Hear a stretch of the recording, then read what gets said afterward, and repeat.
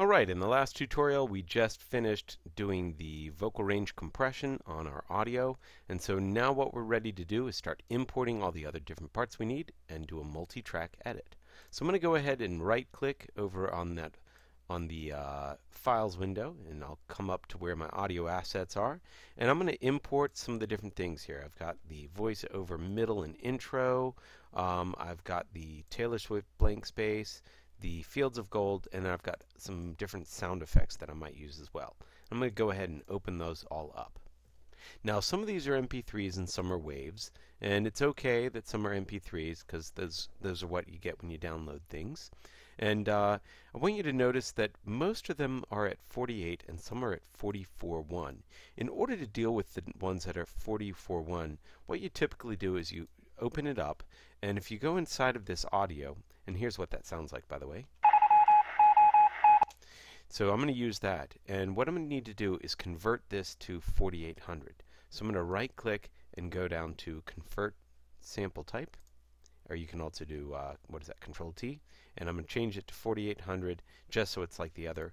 I could go ahead and make it mono, but it'll be okay in stereo. It's be fine.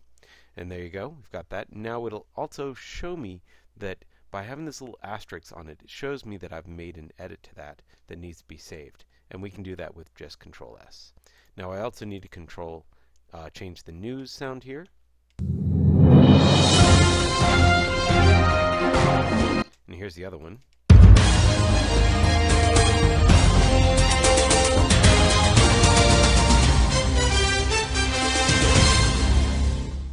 Boy, that's cheesy as can get, but it'll totally work for this. So I know that that's the section I'm going to use. I could go ahead and delete the other if I really wanted to, but it'll be fine. I'll be able to do that in editing as well. So I am going to go ahead and convert this to 4800 as well. Beautiful.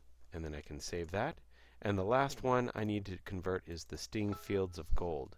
So I'm going to go to that one, convert the sample type, and change it to 4800 a little bit longer song, and save that. So now all of my audio is set to 4800 and I can close that if I really want to.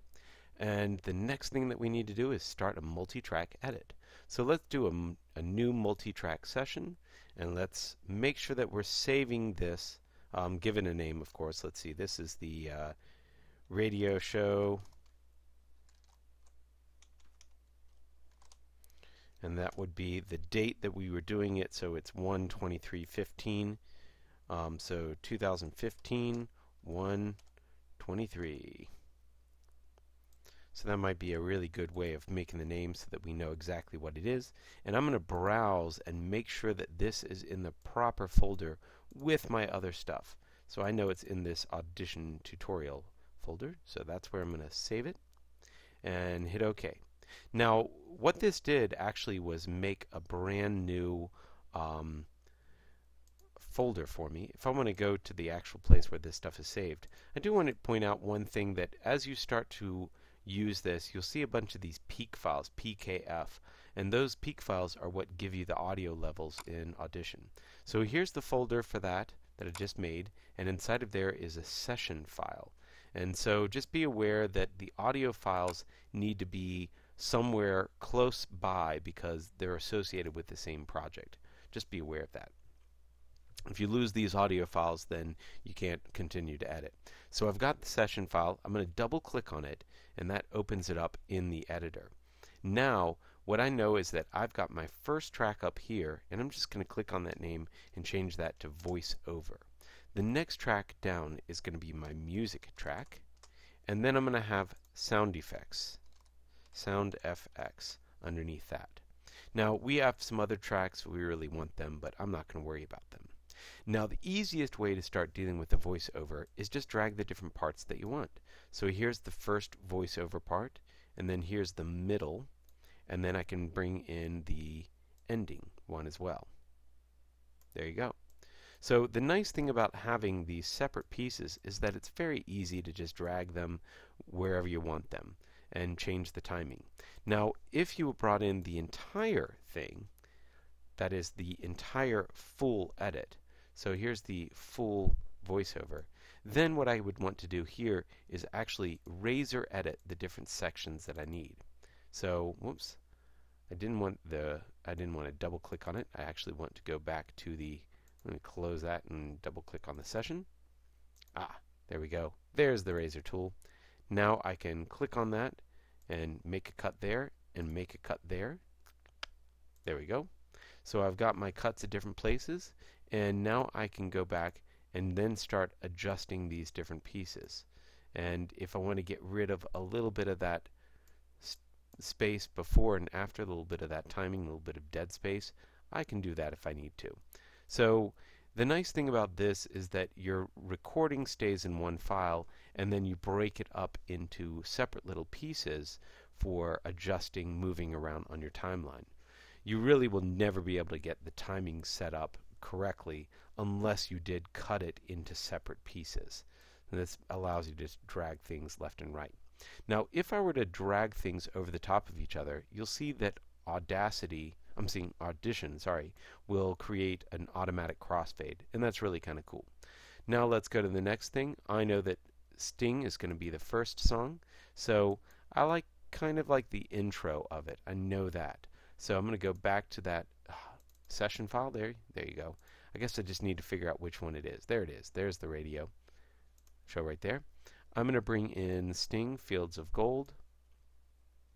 And I know that I'm going to cut that after a little bit of time. So I'm going to cut about there. And I can always adjust that timing afterwards. But let's see what it sounds like. I'm your host, Jonathan. Today we've got loads of news and... Ooh, I forgot. We have to have a news anchor part. So that's the news sound effect. I'm going to bring that in. I'm going to cut right at that one. Boom. And that's actually our first audio. I forgot about that. There we go.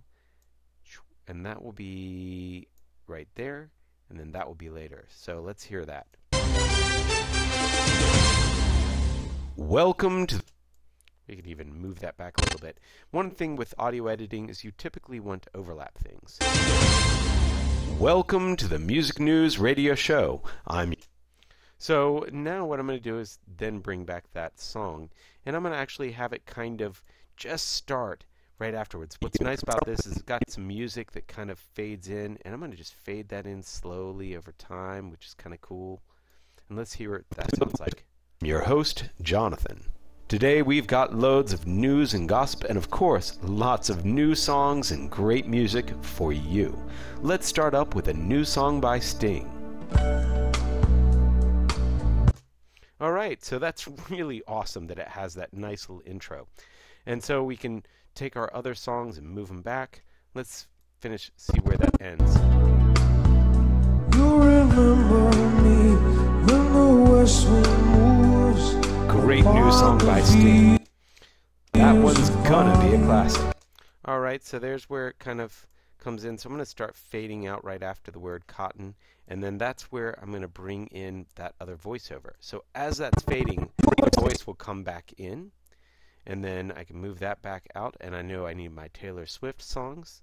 So let's have her come in right there, and I'll get a little bit of of the little sound of her before she starts.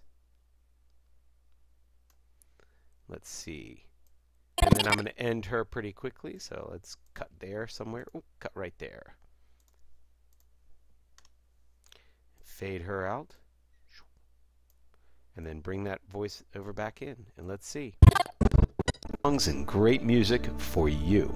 Let's start up with a new song by Sting.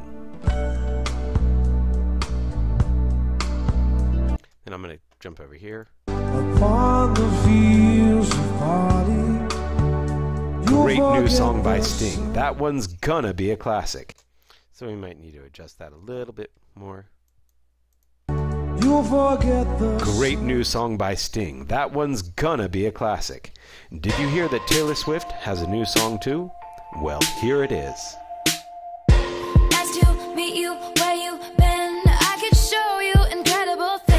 And then we go to the end of that. Like Thanks for listening today. Um, just adjust that. Thanks for listening today, folks. Come back next week when we explore the music of the 80s with So that's pretty good. I'm going to go ahead and save that session and let's go on to the